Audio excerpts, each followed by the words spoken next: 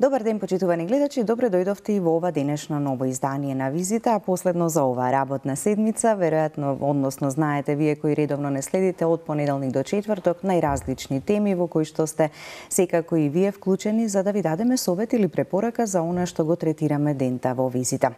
Денеска зборуваме за емоциите, емоционалната поврзаност и нивното значење за подобро ментално или психичко здравје. Како сакате, нели ќе си го кажете и го кажувате терминот начинот кој што се однесува на оваа состојба.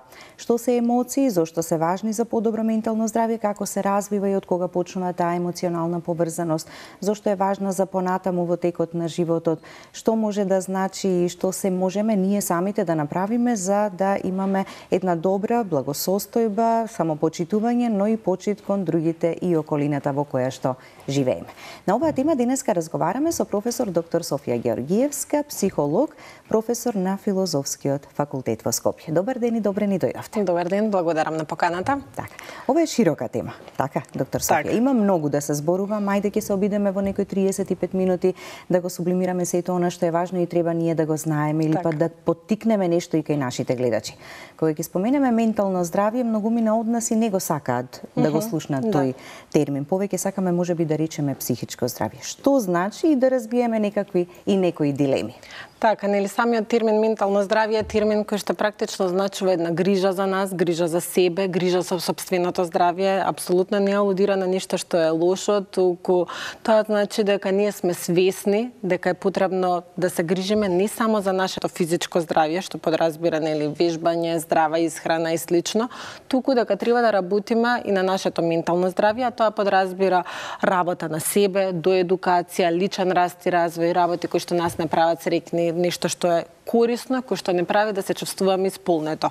А, ако тргнеме од она многу позната хиерархија на мотиви која што ја дава Маслов и нели на дното на таа пирамида на мотиви се наоѓаат основните наши потреби, односно потребата за сон, потребата за храна, потребата за а, секс, понатаму нели одат оние потреби за сигурност, потреба за љубов и на крај е потребата за самоактуализација, односно тоа значи таа потреба да ние имаме добар личен раст и развој, односно да работиме на себе и да се грижиме за себе. Па никако јас и баш напротив сметам дека иако луѓето нели постојат табуа и не сакаат да го употребат овој термин сметајќи дека станува збор за нешто што е лошо, нешто што е девијантно, да. апсолутно тоа е сусама спротивно бидејќи менталното здравје е нешто што ние најмногу највисокото нешто кое што можеме да го да, нели да го оствариме во тој процес на работа на себе и самоисполнување.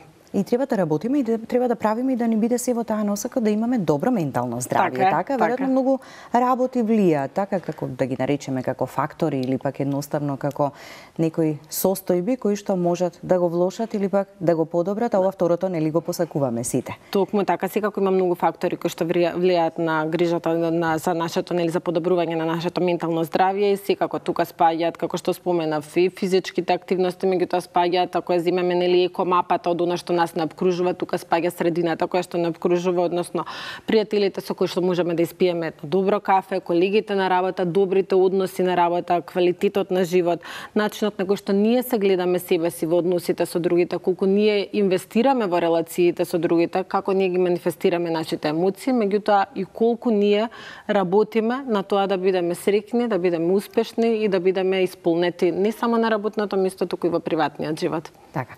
Ќе зборуваме и за емоции емоциите, и за емоционалната поврзаност и како таа влие и како придонесува и зошто е важна за подоброто ментално здравје. Така, емоциите се да нели да, а, нешто без кое што да, човекот не, не може да живее, односно нешто кое што постои исто како што постои и кај животните, меѓутоа многу е важно да ние а, знаеме соодветно да ги манифестираме нашите емоции, меѓутоа и соодветно да реагираме во даден временски нели во дадена ситуација со тоа какви какви емоции ќе манифестираме на одреден настан, а тоа е нешто што се учи и е многу важно да се научи уште од најраниот период.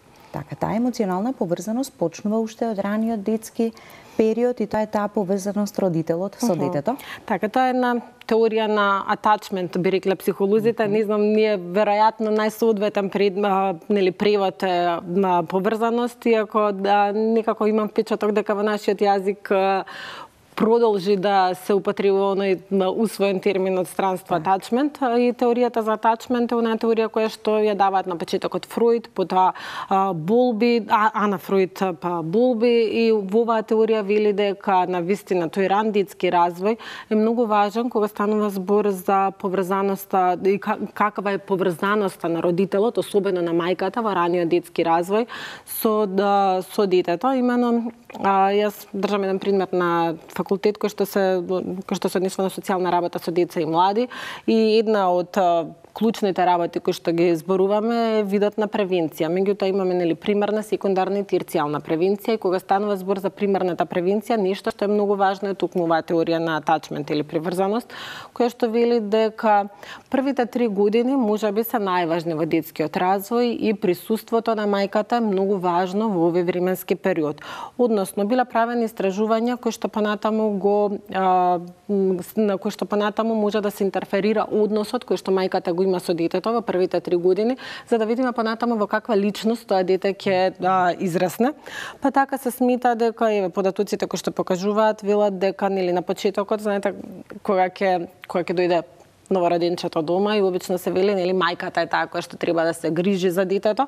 Меѓутоа дел од ставовите пак на голем број психолози велат дека не постои разлика помеѓу ниту пак помеѓу предзнењата, ниту пак по она што мајката дополнително може да му го пружи на детето, освен нели доењето во тој да временски период.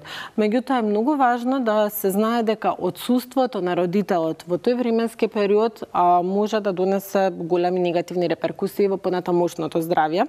Па така да се смета дека во првата година е пожелно родителот да, да не отсуствува од дома, односно да Тоа не значи дека не треба да излезе од дома, меѓутоа отсуствата да не бидат подолги од еден ден, практично да не се случува да детето нели остане само така, со да некој кој повеќе, односно постојано да така, се во, да. во помеѓу втората и третата година тие отсуства може да бидат 2 до 3 дена и по, од третата до седмата година веќе може да бидат и подолги од 7 дена и се смета дека не би имало никакви последици понатаму по здравието на детето.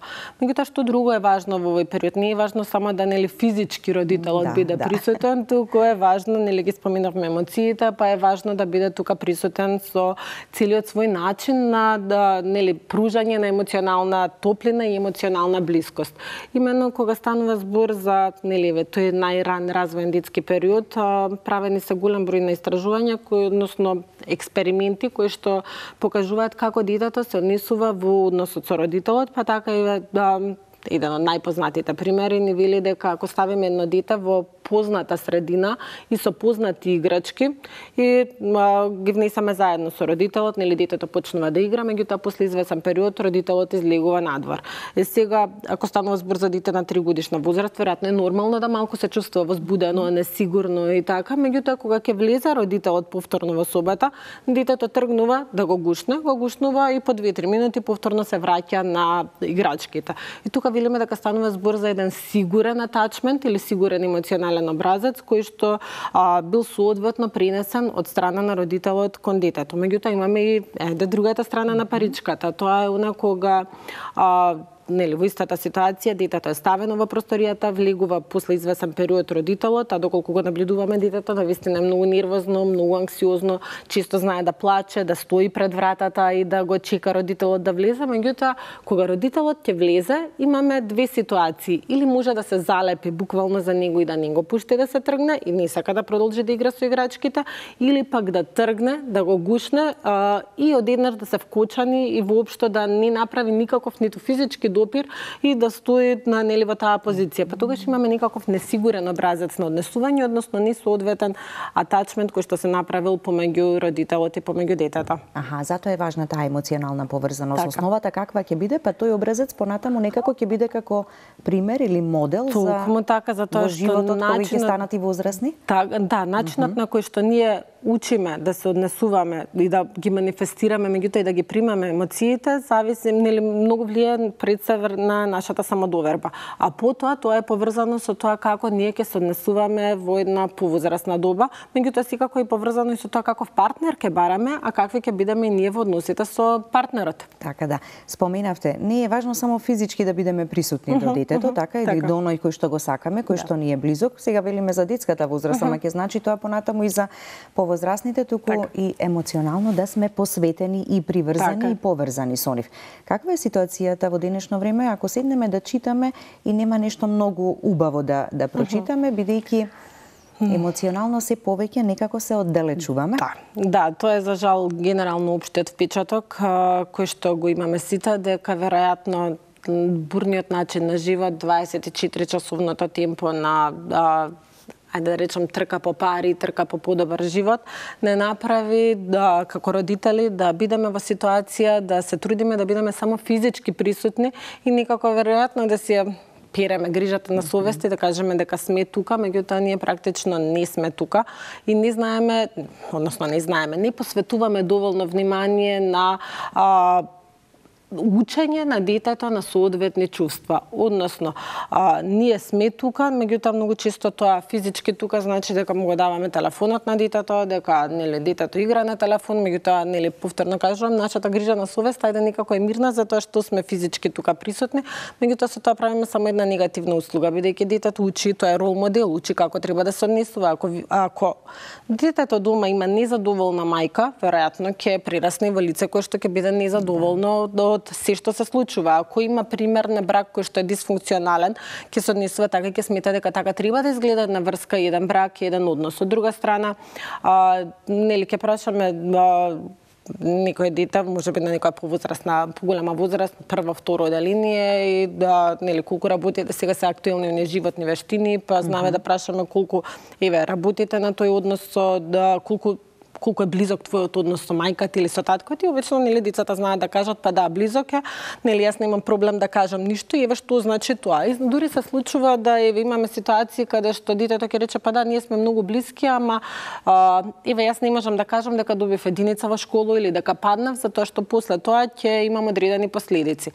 Тоа не говори за однос кој што е близок, како што не говори за тоа дека детето е учено на соодветни емоции, затоа што нели веројатно неуспехот може да носи одредени одредени последици, одредени емоции, меѓутоа не е дека ништо кое што треба да се критикува, туку апсолутно ние треба да ги учиме нашите деца да знаат да поднесат и пораз, да знаат и да се однесуваат соодветно и дури тогаш може да манифестираат емоции кои што а, нели не се секогаш пријатни, односно многу е важно да знаеме дека и пријатните, непријатните така, емоции се оние кои што ние треба да учиме да ги манифестираме. Да не биде дека ние треба да ги манифестираме само позитивните емоции, а негативните да бидат оние кои што ќе ги потиснуваме и ќе ги криеме.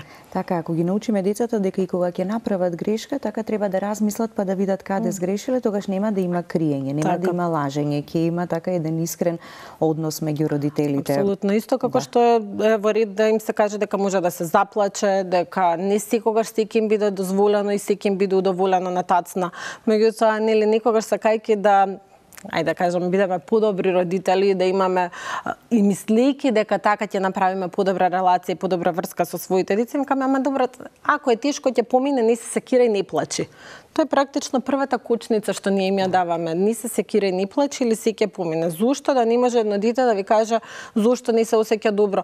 Така како тоа не се секира и ни плаче, понатаму значи дека не знам, еве, тоа дете може да биде жртва на булинг во средно училиште, може да биде жртва на некаков вид на насилство. И нели ќе му биде да, да. страв да каже затоа што едноставно а ќе поминува низ тие ситуации, ќе поминува низ ситуациите, така? меѓутоа да не ги разочара очекувањата на родителот бидејќи пред пет години било учено дека само она што е добро треба да се пласира, сега веќе престанува да ги кажува проблемите со кои што се соочува колку се многу важни тие работи, а веројатно во моментот кога се случуваат, па и не им посветуваме толку многу внимание, кога ќе поминат години, кога ќе се вратиме наназад, ќе си го вратиме филмот како нели така. велиме и можеме да се подсетиме или пак да се сетиме дека да, таа ситуација не била како што треба, па се отсликала и се пресликала понатаму.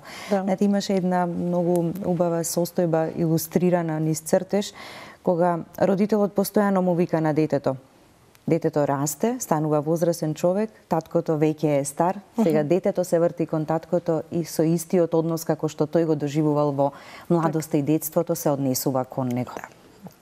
Ама некогаш е доцна за некои Некогаш работи, е не доцна можеме да ги промениме смениме. некои работи, веројатно нели треба на вистина, затоа и не нели ни попусто психолозите велат треба да се посвети време на себе. Во тоа посветување време на себе, тоа не значи дека нели ние ќе седнеме, ќе пуштиме телевизор и имаме 10 минути за себе. Туку најчесто ние правиме анализа и убаво е да човек направи анализа на постапките кои што ги имал во тековниот ден, затоа што така гледа што е она што добро го направила, што е она што Да. не чини, што е она што колку што може побрзо додека да нема никакви трајни последици да се промени. Така да.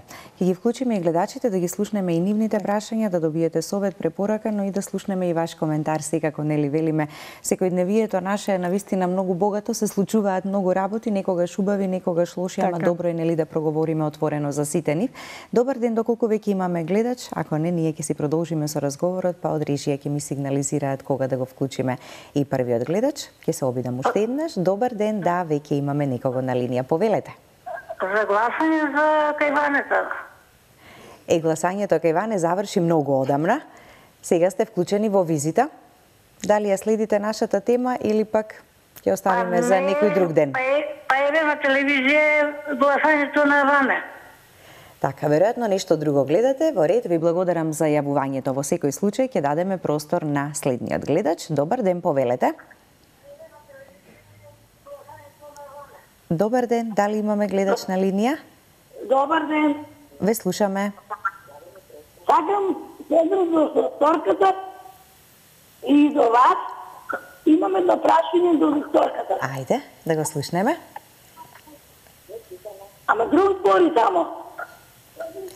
Вака, ќе го намалите тонот на телевизорот за да не се слушате вие самата себе си и да не ме слушате повторно уште еднаш мене, да можеме во интерес на времето, нели, да одговориме на вашето прашање, а и на следниот гледач.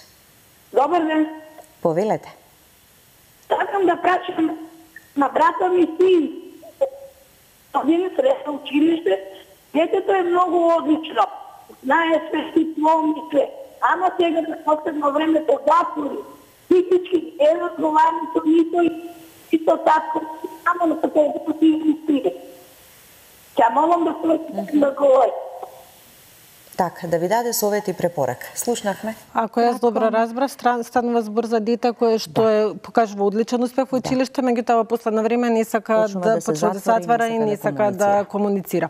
Ова е многу чест случај, нели прво зависи во кој временски период се јавува, дали е тоа пубертет, па може да биде поврзано со некои од кризите кои што се јавуваат, односно тоа се нормални развојни кризи. Имено кај секого од нас поминуваме низ еден процес каде што нели во пубертет некој станува многу поотворен, некој станува позатворен, може да станува за прва љубов, може да станува за нели невозвратена љубов, па исто така луѓето да се затвараат, односно децата да се затвараат во себе, од друга страна нели она што го зборувавме претходно да немаат на кого да се доверат за она што се случува.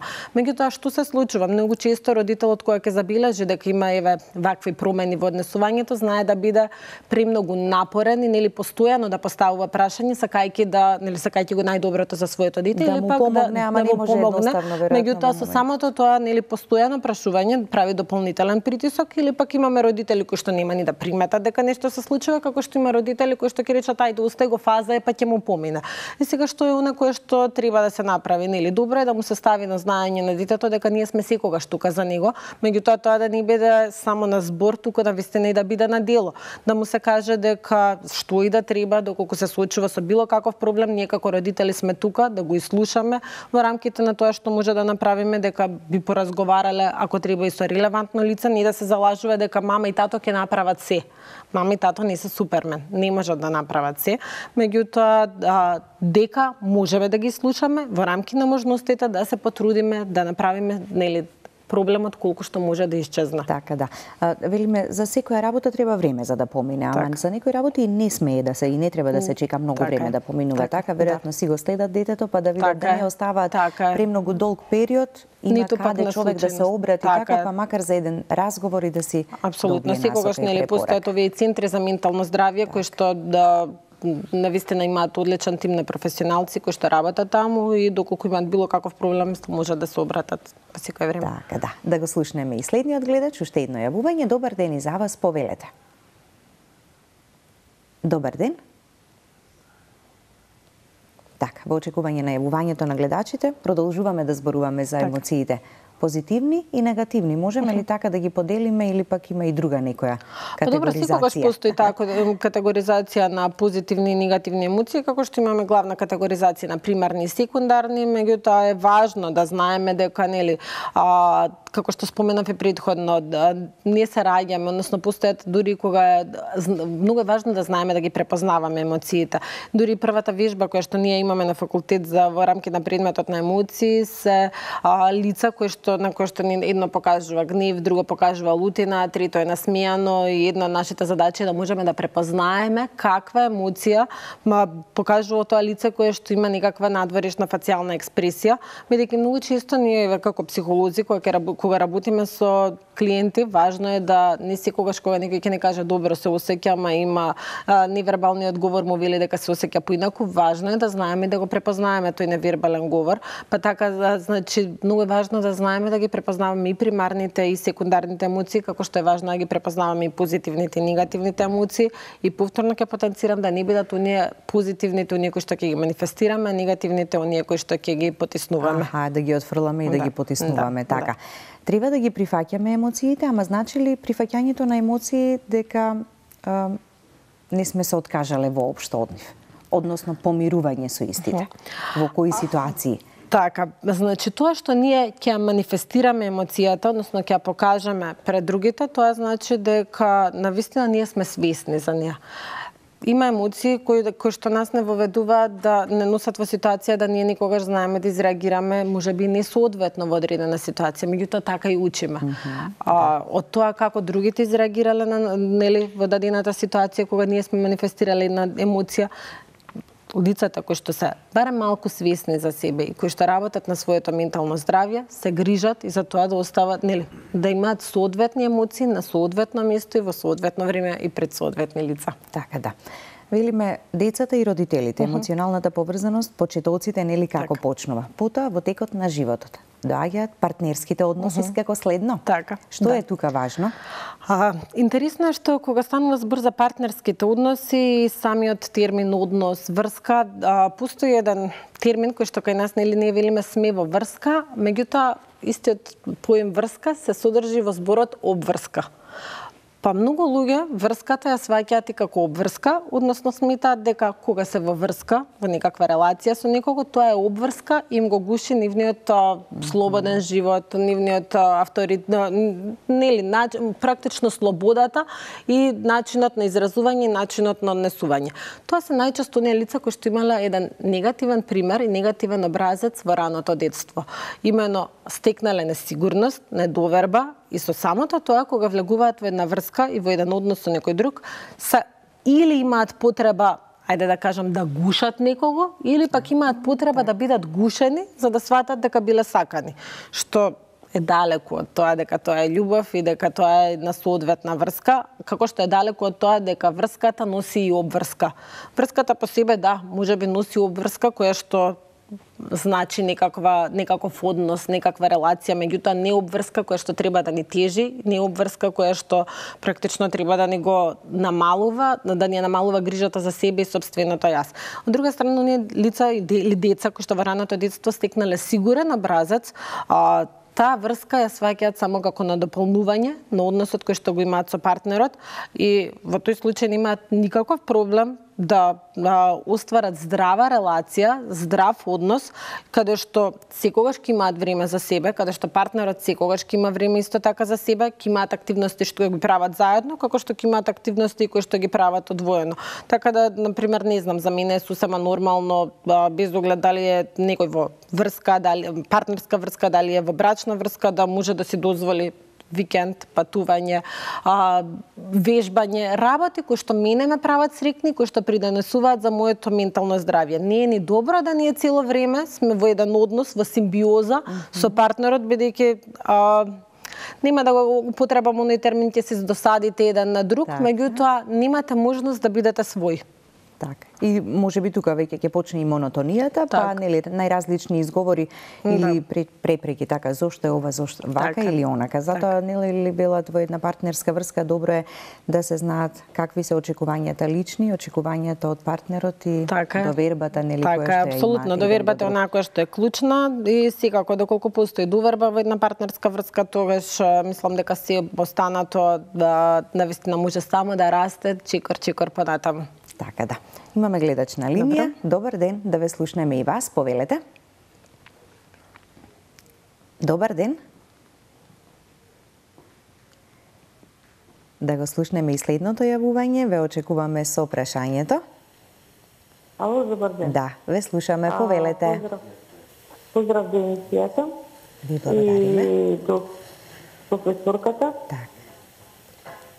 А, вака ме интересира а, каде би можеле да ја најдеме во која ординација или да дојдеме до контакт без професорката.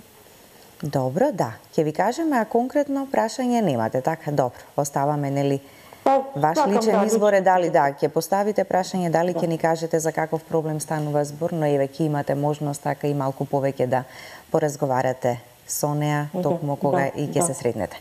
Да, Има каде ли се можност наоѓа и каде, доктор Софија? Така, јас генерално нели сум вработена на филозофски факултет, меѓутоа заедно со уште една колешка, а, Фросина Динкова Зафировска, двете сме едуканти на системска семена терапија сега во сабота полагаме завршен испит од трета година, што значи дека ако до сега имавме можност да работиме приватно под супервизија, сега постои една опција да, да, да работиме заедно. Основавме еден тренинг центар кој што се однесува не само на тренинг, на едукација, туку и психолошко советување, а, психограм, така што може нели да не побараат таму, а бројот понатаму можем да го ставаме во режија за сите оние кои што се кои што се заинтересирани. заинтересирани и сакаат нели да добијат совет Да. и препорака Да. и секако најдобро и најважно е така да им се помогне на луѓето кои што во моментот Така. го имаат проблемот, бидејќи почнуваме веќе во последниве години малку и повеќе да внимаваме и на психичкото здравје, Јас така? во еден наврат, нели, кај вас во едно предходно Да. гостување реков како што е добро да имаме свој матичен лекар, свој гинеколог, свој стоматолог. Дефинитивно сметам дека секој од нас има потреба од психолог, затоа што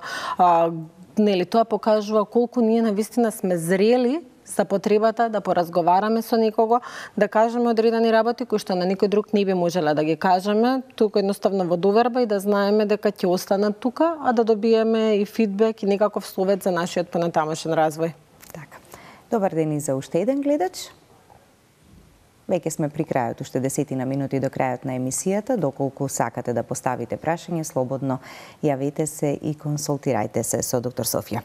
Ако работиме на својот личен развој, ќе промениме многу работи кои што за кои што можеби некогаш и не сме свесни дека Така. некаде грешиме, дека нешто правиме како што не треба, а може да ни се одрази понатаму низ животот, работата, во семејството, приватно, професионално. Така е, да. Значи, дефинитивно нешто што е важно, мислам, во неколку наврати споминавме, тој однос и работа на себе. Што значи работа на себе? Нели ние многу често ќе слушнеме модерно, да, да. работам на себе, се грижам за себе, работам на својот личен раст и развој. Тоа значи еден процес на доживотно учење. Односно, ние прва никој не се родил нели учен, сите сме табула раса или празен лист хартија. Е сега како ќе се надоградуваме зависи да, од нас самите. Па така и еден познат психолог Вотсон рекол дајте ми едно дете и јас од него ќе направам што сакате. Да, тоа може да биде најдобар адвокат, најдобар политичар, меѓутоа може да биде и најдобар криминалец. Што значи тоа? Дека ние во текот на целиот живот го модифицираме нашето однесување и учиме што нели со во согласно со нашите капацитети какви може да бидеме и што е она кон кое што треба да се стремиме. И сега што значи тој личен раст и развој, што значи тоа работа на себе. Тоа не мора секогаш да значи дека јас ако видам дека постојат неколку видови на обука, дека треба да се пријавам на сите видови на обука и да ми бидат сите пет дена зафатени нели со обука и да кажувам дека јас сум многу среќна и дека сум многу исполнета и дека и одам на пет видови на обука и дека работам на себе.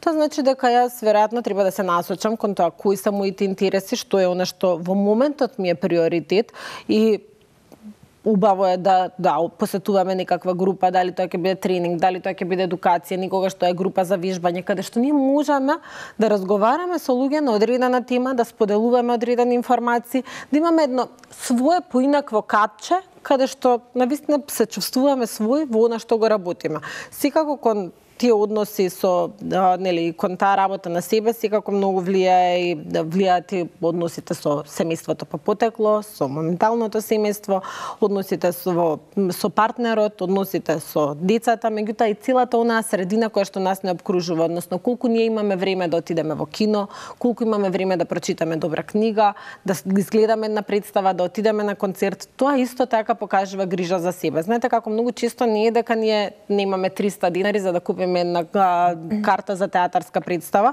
ама имаме така, нешто друго, ама имаме така? 300 динари да купиме брза храна или да испиеме кафе, туку се случува да преморени, дури согорени од силно што ни се случувало на работното место, дојдеме дома, едноставно немаме сила и енергија да излизаме надвор, па да повторно нели во град или надвор и слично.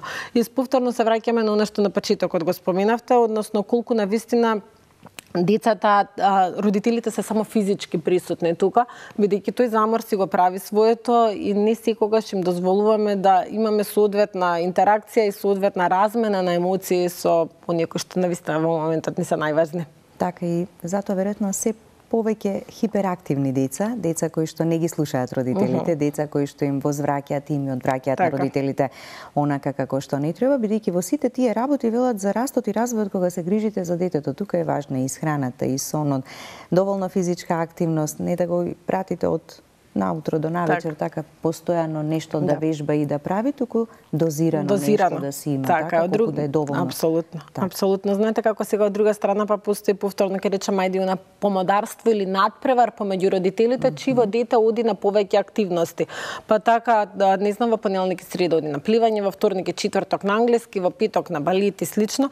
И тоа мислам дека а, има впечаток дека дури тука не се прашани желбите на децата, туку нели родителите сакајќи да бидат бидат во кругот со своите пријатели, па може би тоа да го искористат како едно време за кафе, се договараат да и така ги запишуваат децата на сите тие активности. Супер, одлично е да се оди на такви активности, меѓутоа тоа да биде сепак дозирано, умерено и на активност која што детето смета дека има капацитет и сака да ја прави. Па дури тоа да биде со откажување, нека биде и со пробување, нека биде еден месец танц, па не му се допаѓа, нека биде еден месец балет, не му се допаѓа, нека биде еден месец пливање. Меѓутоа дека по секоја цена ние мора да го пуштиме да оди само на пливање, затоа што пливањето е најдобро добар спорт, mm -hmm. навистина нема логика ако детето се плаши од вода. Дури можеме дополнително да му направиме притисок да утре кога ќе оди на одмор, навистина не сака да влиза да се бања. Така, така, да. Па, како што настојуваме за некои работи во детството, така не треба да настојуваме за некои работи кога ќе станат тинејџери. Како велиме, сами треба да си одлучат така. каде ќе сакаат да учат, што да студираат, така да си така. одберат сами патот, да. иако да, добронамерен е советот од родителите, некогаш може би ќе им ја дадеме вистинската насока така. и патека, ама некогаш може би и ќе сгрешиме.